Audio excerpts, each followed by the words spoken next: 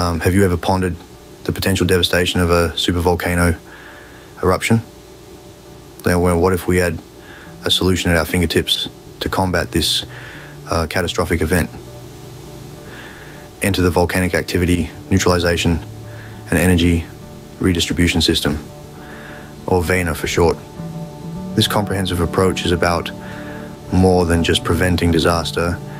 It's about harnessing the volatile energy of a supervolcano and turning it into something beneficial. The VANER system is composed of six core components, and the first of these is the deep drilling geothermal heat extractors.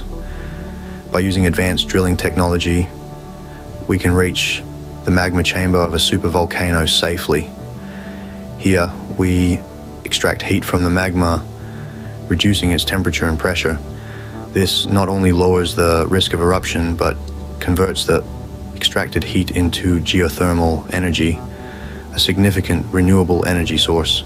Next, we have magma chamber pressure regulation modules. Installed within the magma chamber, these modules monitor and adjust the pressure dynamically. By releasing pressure gradually when it hits certain thresholds, we can prevent a buildup that could lead to an explosion. The third component is the seismic activity monitoring network, um, a network of sensors around the supervolcano. Um, in this case, Yellowstone monitors seismic activity um, and predicts potential eruptions. Using AI algorithms, the data is analyzed in real time, providing early warnings and enabling proactive measures. The fourth element of the VANER system is lava flow diversion structures.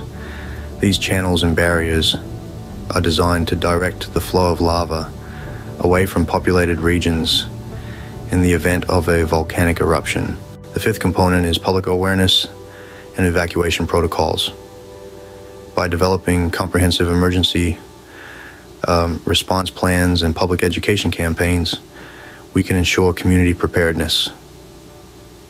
These plans include evacuation routes and refugees, integrated with real-time weather, monitoring, and early warning information systems. And finally, the sixth component of the VANER system is international collaboration and research.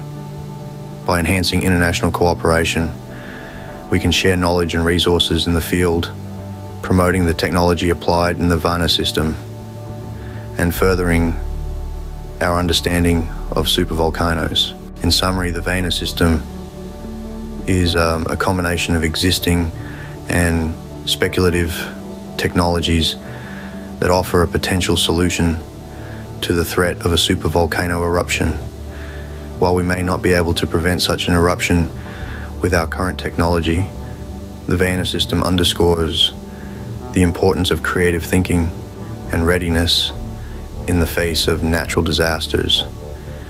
As science and technology continue to advance, we may one day have the tools to avert these colossal natural forces.